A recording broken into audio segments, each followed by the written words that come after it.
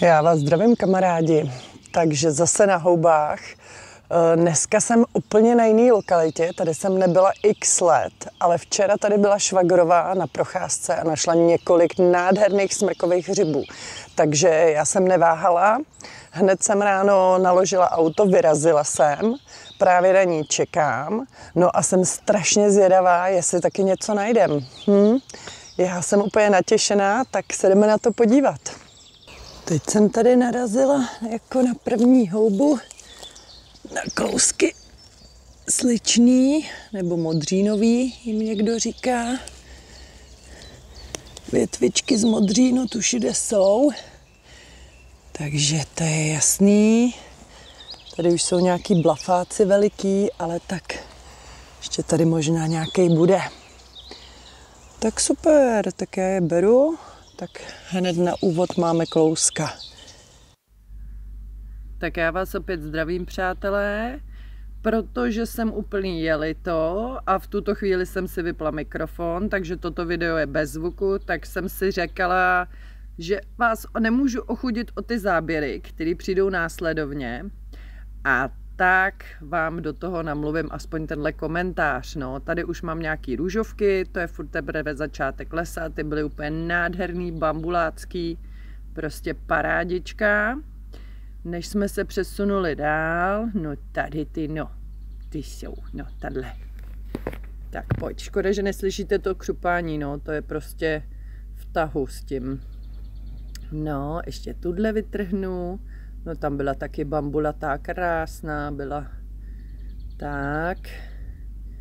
Jo, ještě tyhle tři bambulíny. No a pak přejdu už na lepší kousky. To teprve uvidíte. Tak, raz, dva, tři. Mám ji venku, šup. A tady už jsem přešla do nádherného vysokého lesa a z dálky jsem viděla tuhle tu bedlu, jo. Tak se jdeme na ní podívat. No, úplná krasavice, obrovská.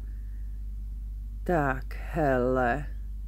Takhle jsem vám tam ukazovala, že má tigrovaný třeň, jak ji rozeznat, posuvný prstýnek, prostě úplně mega giga obrovská, nádherná. No, no, krásná byla, krásná, plný dešník. Tak a tady našli holky prvního hříbka, nádhernýho, Nádherný kousek to byl. Tak, malá už ho chtěla vytrhnout, ale tak jsem jí v tom trošku zabránila. A teď, teď už ho trhaj, trhaj. Nádherný byl, opravdu krásný. A já začala být natěšená, že si najdu taky svýho prvního. A tady je. Tak tenhle na mě čekal, přátelé. Ten byl naprosto vynikající, nádherný. Úplně podívejte se na ten klobouk, jak je úplně dokonalej, no prostě parádička. No, nemohla jsem odejít prostě. Zahučela jsem tam do takových nízkých smrčin a tam to bylo prostě úplně pecka. Podívejte se na toho krasavce, přesně takový jsou úplně, no, dokonalý, dokonalý. Takže jsem šla dál, jo. A tam to bylo úplně, úplný ráj. No podívejte se, co já tam teď budu trhat z té země. Nádherný hříbky smrkový úplně nádherný. No, škoda, že prostě mě hrozně mrzí, že neslyšíte to křupnutí, no ale tak prostě, no. A tady byl hned další, úplně to prožívám znova. No podívejte se, Ježiši Maria. A zádu ještě jeden, malinký, nebo malinký, no. Ještě měl bílou hlavičku, ještě byl schovaný pod jehličím. No a tenhle, no, prostě krásný. Krásný, krásný. No. Tak jsem to pěkně zahrabala. Vzala jsem hříbečky, očistila a vyrazila jsem dál a hned tam na mě čekal další, jo. No to, to, to byl, hele, já jsem výskala, to byl úplný ráj.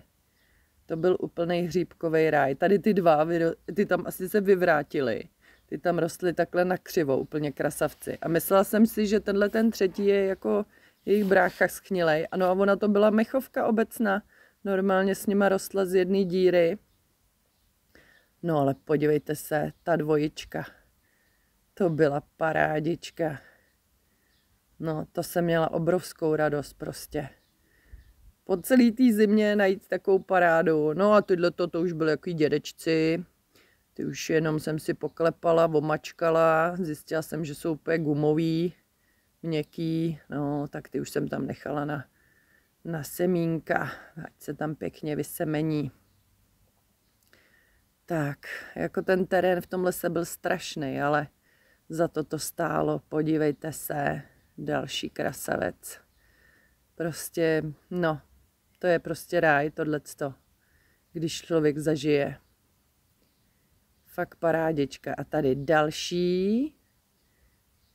Tenhle byl ultra krásný, plně výstavňácký. Hmm, těch tam bude ještě víc, uvidíte. No tohle to, byl, to už byl takový dědek, toho jsem tam taky nechala, to měl bráchu. No všude, všude je to porostlý těma náprskama. No a do těch smrčků naproti já mířím, jo. Takhle to tam vypadalo. Chvílema jsem šla po takové ještě cestě. Hned, jak jsem tam zahučila, jak jsem tam našla tady toho hříbka. Pěknýho, mladýho, měl trošku ojíněný klobouček, ale to jim vůbec nevadí. No, hned tam další. Hele, to, to bylo úplně... Jo, tohle byly ty dva kozáčci a vedle nich byl hříbeček. No to byla trojička k pohledání, tohleto. To byla nádhera. Z těch kozáčků jsem měla teda hroznou radost.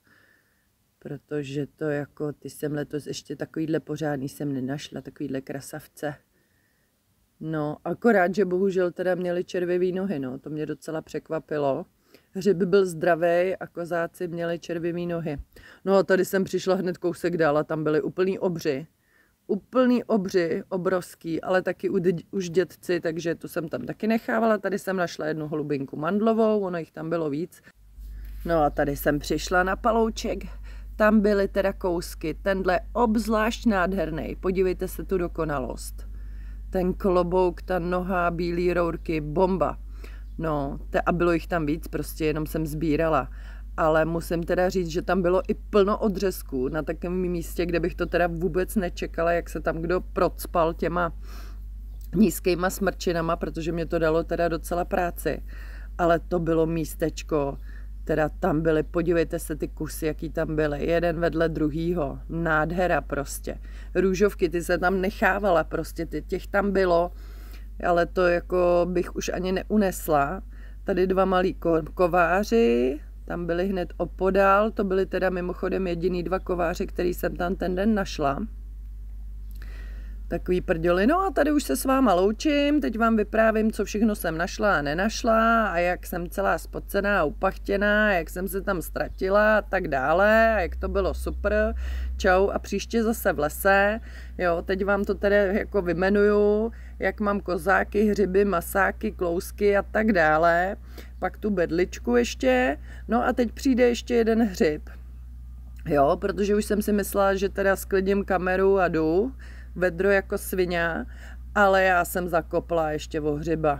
Jo, tady jsem teda ještě jsem zapomněla, jsem našla bedly červenající, teda fakt pěkný kousky, já je teda nezbírám, když tak mi napište do komentářů, jestli je jíte, jakou s nima máte zkušenost, protože někde čtu, jako že můžou způsobovat alergické reakce, někde se píše, že jsou jedlí, tak já fakt nevím, ale tady přesně ukazuju ty rozdíly mezi bedlou vysokou a bedlou červenající, že nemá ten třeň tigrovaný a nemá posuvný prstínek. A tady se dostáváme k tomu poslednímu hřibu a ten byl snad nejkrásnější, prostě ten tam na mě čekal už skoro u auta.